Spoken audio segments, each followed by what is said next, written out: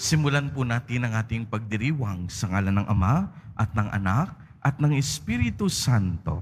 Amen. Ang pagpapala ng ating Panginoong Heso Kristo, ang pag-ibig ng Diyos Ama at ang pagkikipagkaisa ng Espiritu Santo naway sumainyong lahat. At sumaiyo rin. Mga kapatid kay Kristo at mga kadiboto, sa araw na ito ay ating ginugunita ang kapistahan ni San Ambrosio, obispo at pantas ng simbahan.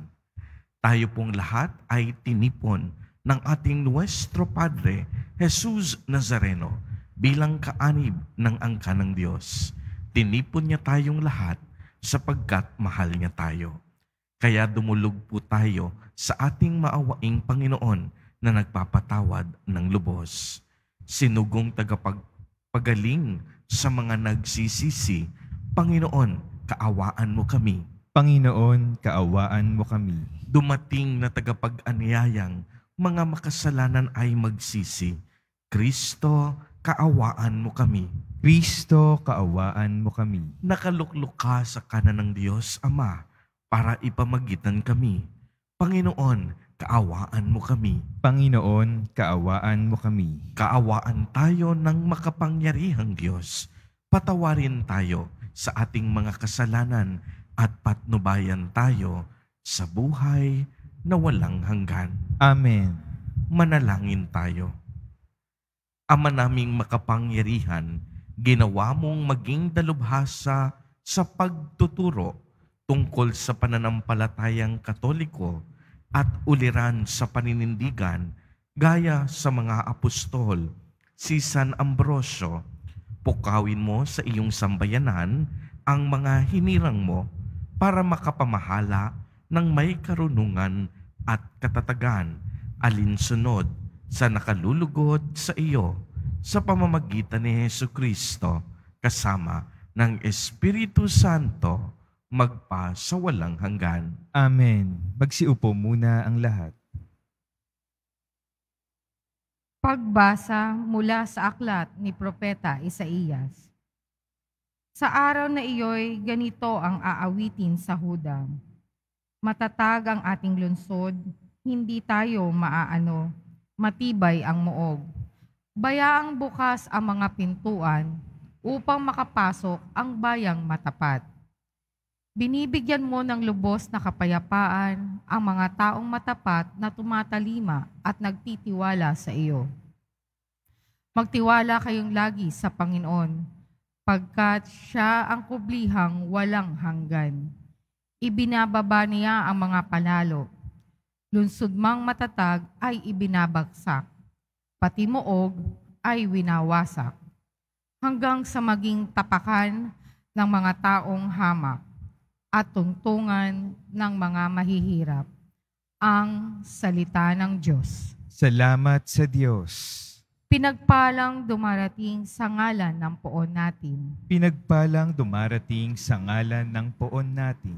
O pasalamatan ang Panginoon Diyos pagkat siya'y mabuti. Ang kanyang pag-ibig ay napakatatag at nananatili. Mabuting di hamak na doon sa poon magtiwala ako, kaya panaligan, kaysa panaligan yaong mga tao. Higit ngang mabuting ang pagtitiwala sa poon ibigay kaysa pamunuan ang ating asahan. Pinagpalang dumarating sa ngalan ng poon natin. Ang mga pintuan ng banal na templo'y inyo ngayon buksan. Ako ay papasok at itong Panginooy papupurihan ito yaong pintong pasukan ng poon, ang Panginoon, ang Panginoong Diyos. Tanging ang matuwid, ang pabayaang, dooy makapasok. Aking pinupuri ikaw, o poon, yamang pinakikinggan. Dinidinig mo, ako't pinagtatagumpay. Pinagpalang dumarating sa ngalan ng poon natin. Kami ay iligtas, tubusin mo, poon. Kami ay iligtas at pagtagumpayin sa layunit hangad. Ang pumaparito sa ngalan ng poon ay pagpapalain. Magmula sa templo, mga pagpapalay kanyang tatanggapin. Ang poon ang Diyos. Pinagpalang dumarating sa ngalan ng poon natin. Magsitayo na po ang lahat.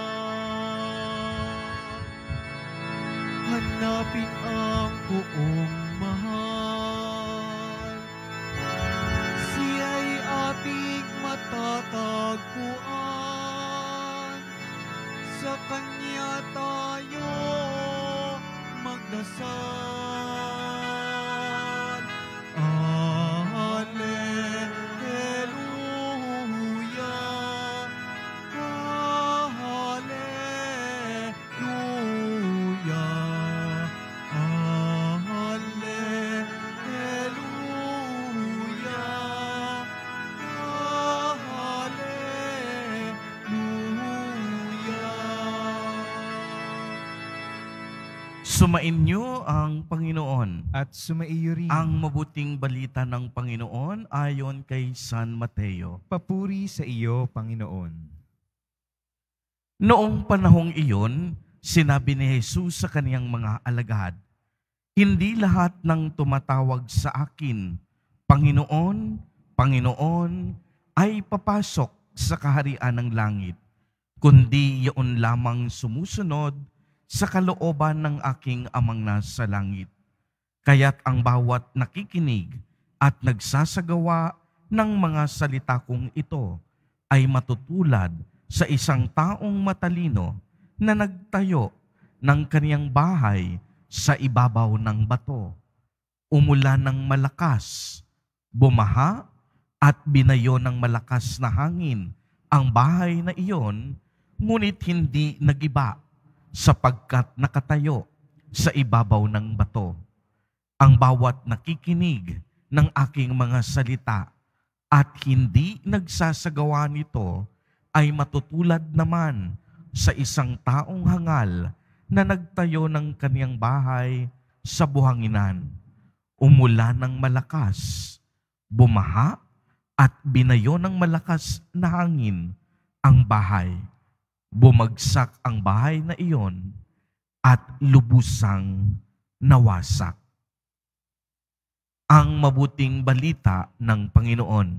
Pinupuri ka namin, Panginoong Heso Kristo. Magsiupo muna tayong lahat. Magandang umaga po sa inyong lahat mga kapatid kay Kristo. Sa lahat po ng ating mga taga-subaybay sa iba't ibang online platforms at sa lahat ng ating mga kadiboto sa iba't ibang panig ng Pilipinas at maging sa buong mundo kung saan tayo ay naaabot ngayon ng ating live streaming. Mapayapang umaga din po sa inyong lahat. Purihin at dakilain natin ang ating Panginoon, ang mahal na poong Jesus Nazareno. Mga kapatid kay Kristo at mga kadiboto, malugod po namin kayong tinatanggap sa Basilica Minor at Pambansang Dambana ni Jesus Nazareno.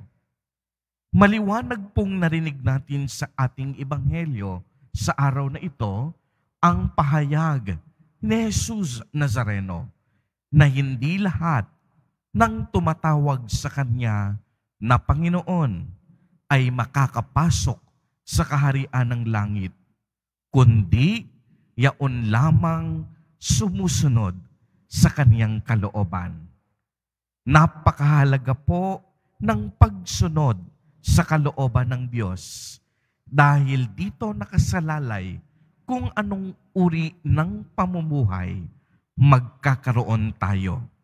Ang pagsunod sa kalooban ng Diyos ay ang magbibigay ng tunay na kaginhawahan at kapayapaan sa ating buhay. Sapagkat walang taong pwedeng mapahamak kung ang kalooban ng Diyos ay kaniyang sinusundan.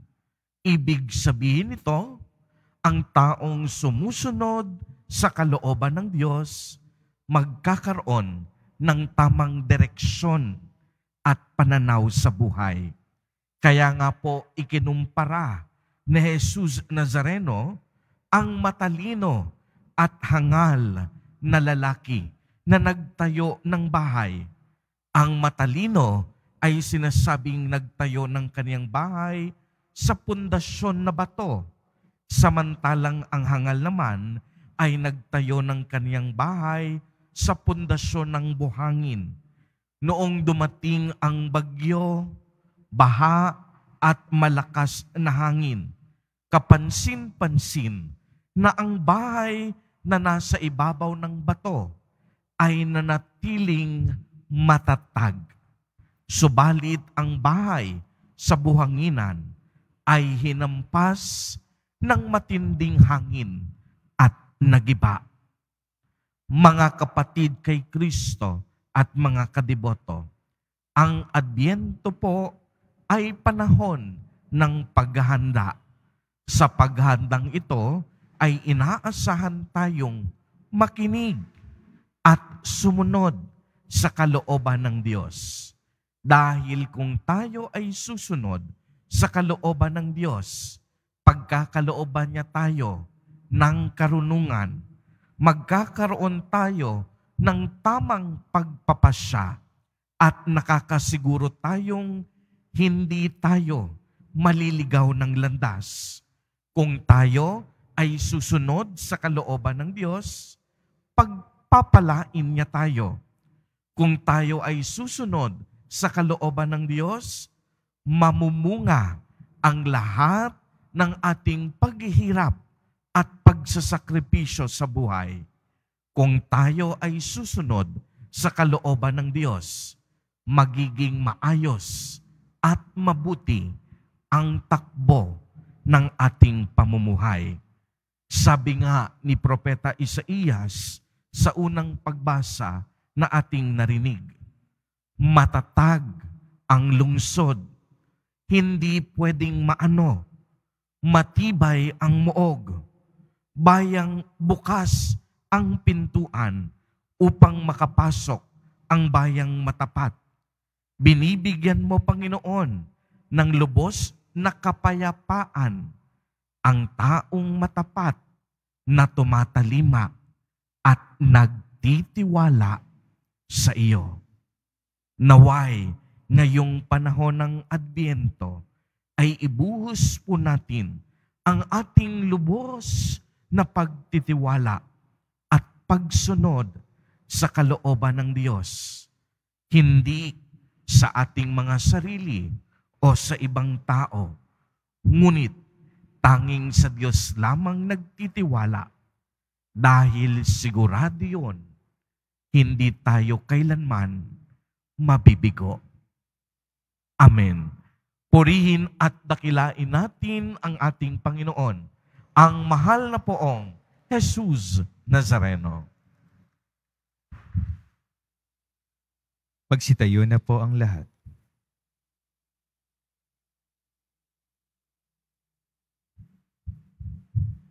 Minamahal kong mga kapatid, bunga ng pagtitiwalang ipinagkaloob ng Diyos Ama ang ating mga kahilingan, buong katapatan naman tayong tumawag sa Kanya. Sa bawat panalangin at kahilingan, ang atin pong itutugon, mapagmahal na Ama, tingin mo ang aming panalangin.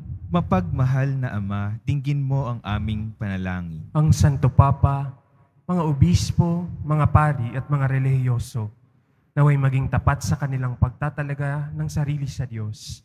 Manalangin tayo. Mapagmahal na Ama, dinggin mo ang aming panalangin.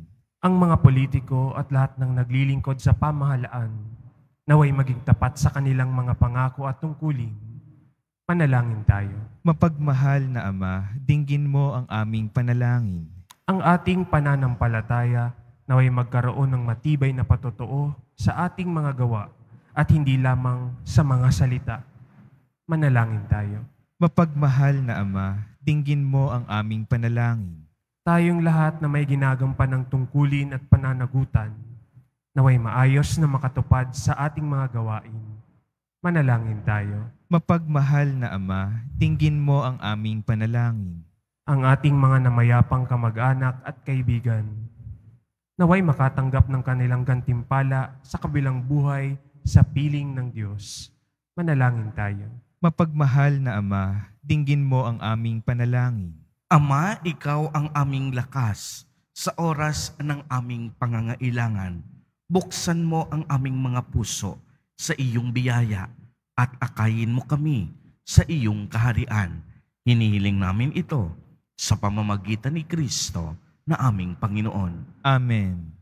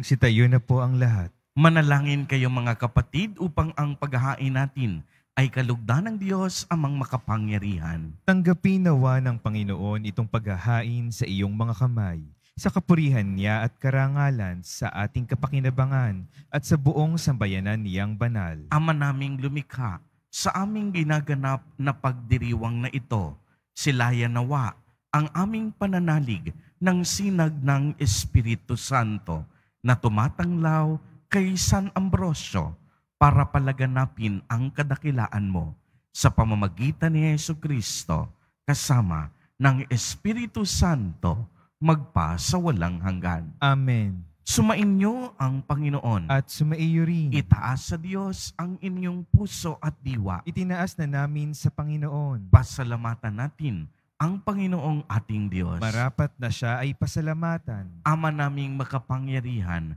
tunay ngang marapat na ikaw ay aming pasalamatan sa pamamagitan ni Yesu Kristo na aming Panginoon. Ngayong si San Ambrosio ay pinararangalan sa pamumuhay niyang totoong uliran at pagiging maaasahan sa panunungkulan. Kaya't si Yesu Kristo na maaasahan sa katapatan ay inihahayag sa pangangasiwa sa sambayanan.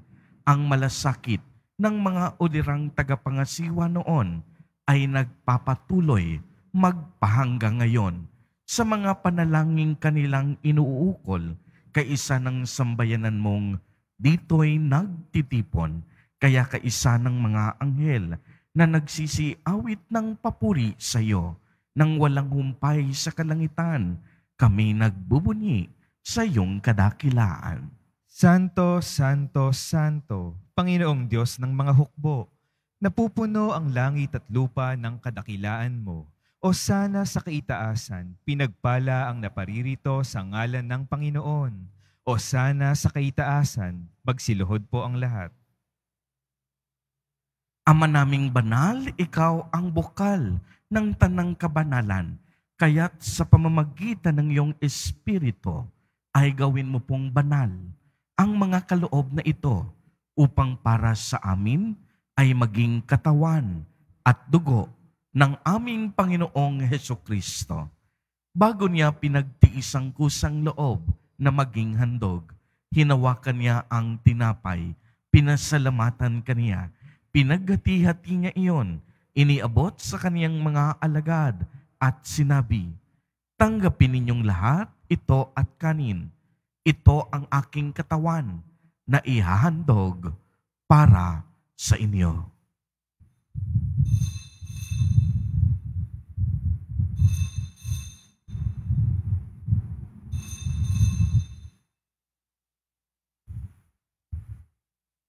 Gayon din naman noong matapos ang hapunan, hinawakan niya ang kalis, muli kanyang pinasalamatan. Iniabot niya ang kalis sa kaniyang mga alagad at sinabi, Tanggapin ninyong lahat ito at inumin. Ito ang kalis ng aking dugo, ng bago at walang hanggang tipan, ang aking dugo na ibubuhos para sa inyo at para sa lahat sa ikapagpapatawad ng mga kasalanan. Gawin ninyo ito sa pag-alaala sa akin.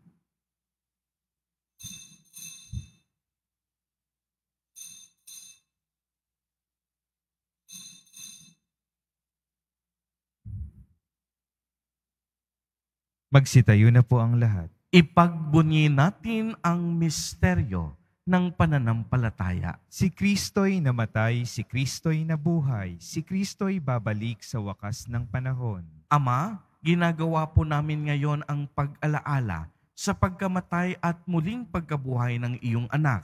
Kaya't iniaalay namin sa iyo ang tinapay na nagbibigay buhay at ang kalis na nagkakaloob ng kaligtasan.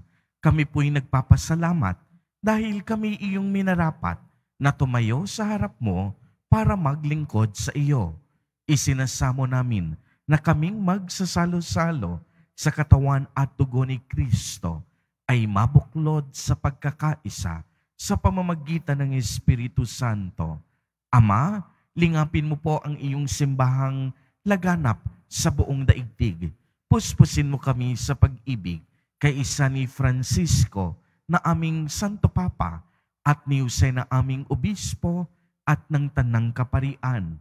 Alalahanin mo rin ang mga kapatid naming nahimlay nang may pag-asang sila'y muling mabubuhay. Gayon din ang lahat ng mga pumanaw. Kaawaan mo po sila at patuloyin sa iyong kaliwanagan. Kaawaan mo at pagindapatin kaming lahat na makasalo sa iyong buhay na walang wakas, kaisa ng mahal na Birheng Maria na ina ng Diyos, ng kabiyak ng puso niyang si San Jose, kaisa ng mga apostol ni San Juan Bautista, San Ambrosio, San Lorenzo Ruiz de Manila, at San Pedro Calungsod, at ng lahat ng mga banal na namuhay dito sa daigdig ng kalugod-lugod sa iyo, maipagdiwang nawa namin ang pagpupuri sa ikararangal mo sa pamamagitan ng iyong anak na aming Panginoong Heso Kristo. Sa pamamagitan ni Kristo, kasama niya at sa Kaniya, ang lahat ng parangal at papuri ay sa iyo, Diyos amang makapangyarihan, kasama ng Espiritu Santo, magpa sa walang hanggan. Amen. Sa tagubilin ng mga nakagagaling na utos at turo ni Jesus na Panginoon natin na Diyos, ipahayag po natin ng lakas loob. Ama namin, sumasalangit ka. Sambahin ang ngalan mo, mapasa amin ang kaharian mo. Sundin ang loob mo dito sa lupa para ng sa langit. Bigyan mo kami ngayon ng aming kakanin sa araw-araw at patawarin mo kami sa aming mga sala para ng pagpapatawad namin sa nagkakasala sa amin. At huwag mo kaming ipahintulot sa tukso at iadya mo kami sa lahat ng masama. Hinihiling namin na kami iadya sa lahat ng masama. Pagkalooban ng kapayapaan araw-araw, iligtas sa kasalanan at ilayo sa lahat ng kapahamakan, samantalang aming pinananabikan ang dakilang araw ng pagpapahayag ng tagapagligtas naming si Heso Kristo. Sapagkat iyo ang kaharian at ang kapangyarihan at ang kapurihan magpakailanman. Amen. Panginoong Heso Kristo, sinabi mo sa iyong mga apostol, kapayapaan ang iniiwan ko sa inyo. Ang aking kapayapaan ang ibinibigay ko sa inyo. Tunghayan mo ang aming pananampalataya at huwag ang napakarami at paulit-ulit naming pagkakasala. Pagkalooban mo po kami ng kapayapaan at pagkakaisa ayon sa iyong kalooban, kasama ng Espiritu Santo, magpa sa walang hanggan. Amen. Ang kapayapaan ng Panginoon ay laging sumainyo. At sumaiyo rin. Magbigayan po tayo ng kapayapaan sa isa't isa.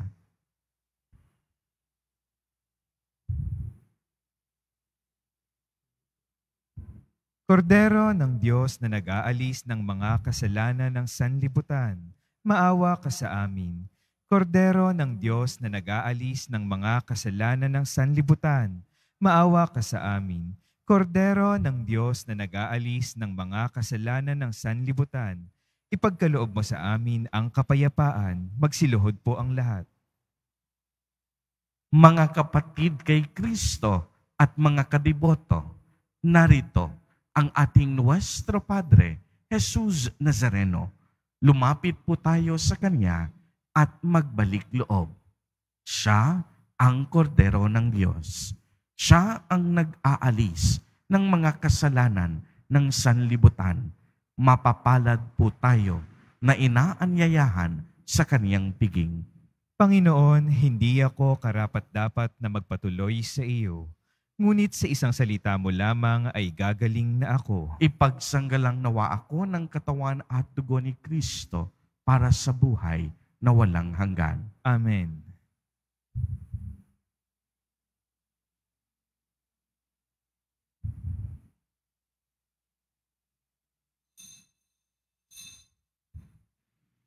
Para sa lahat ng tatanggap ng banal na komunyon, sasagot po tayo ng amen pagkasabi ng pari o ng lay minister ng katawan ni Kristo. Isubo agad sa bibig bago umalis sa harapan ng pari o lay minister. Sumunod po tayo. Maraming salamat po.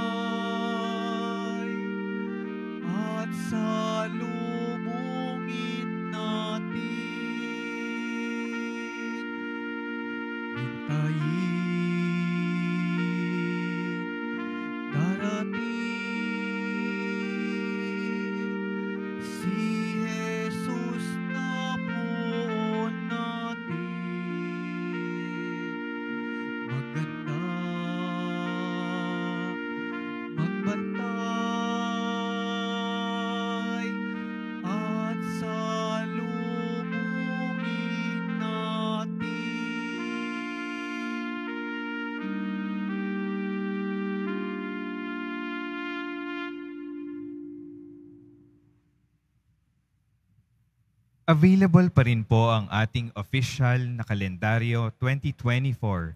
Maari kayong magtungo sa Finance Office. Ang oras ng Finance Office ay ang mga sumusunod. Kapag lunes hanggang webes at sabado, alas 8 ng umaga hanggang alas 5 ng hapon.